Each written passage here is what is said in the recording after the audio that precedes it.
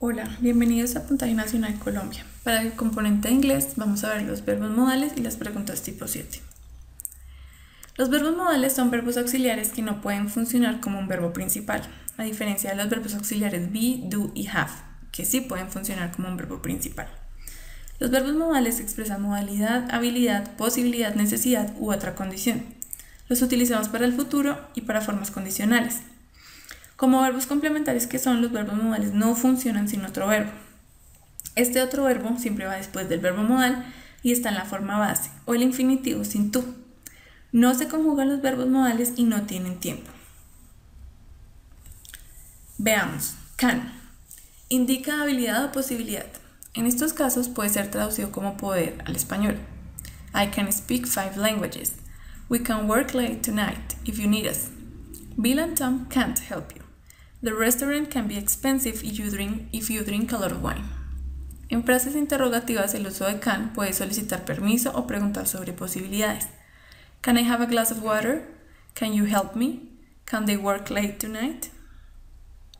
Could. Could indica posibilidad o habilidad en el pasado. Joe could speak Spanish when he was young. I couldn't sleep last night.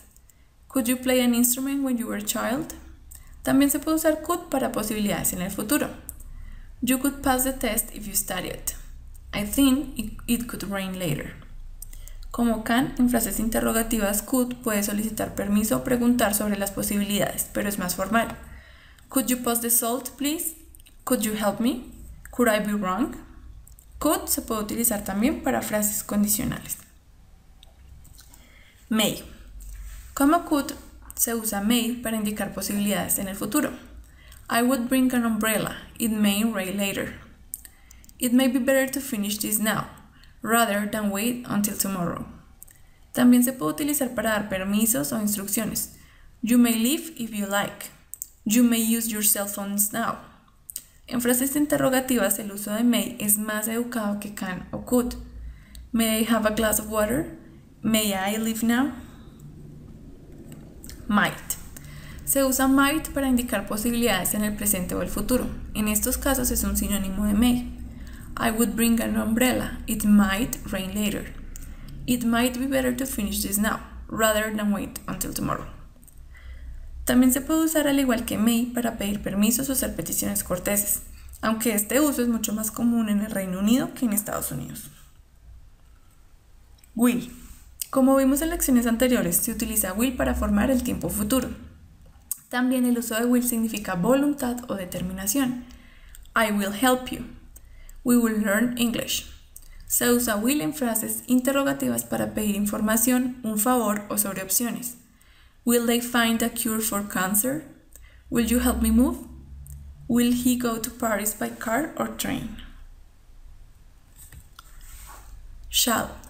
Se usa shall como will para formar el tiempo futuro.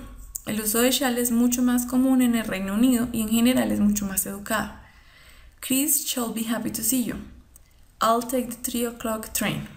También se puede utilizar shall para ofertas o sugerencias o para preguntar sobre opciones o preferencias. Shall we meet at 10 p.m.? Shall we go to the movies or a museum? Nota, las formas cortas de will y shall son lo mismo. Entonces, I'll, en el ejemplo anterior, puede significar I will or I shall. Should. Should indica una obligación o recomendación. Refleja una opinión sobre lo que es correcto. Se puede traducir al español como deber. I should call my parents more often. You shouldn't work so hard. They should practice more if they want to win the championship.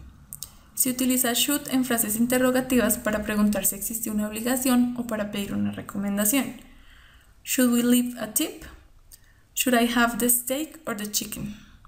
Where should they meet you? Ought to. Ought to es un sinónimo de should, aunque es menos común. She ought to quit smoking. I ought to call my parents more often. They ought to work less. Nunca se usa ought to en frases interrogativas en inglés americano. Must. Must indica una obligación, prohibición o necesidad. También puede emplearse have to, tener que, en frases afirmativas. You must read this book. It's fantastic. You must brush your teeth two times a day. Or you have to brush your teeth two times a day. We must, when was we meet you? También se puede utilizar must para indicar probabilidad o asumir algo. John's not here. He must be sick because he never misses class. It must be difficult to learn a new language as an adult. Es posible también usar must para preguntas retóricas. Must you always be late? Must you talk so much? Would.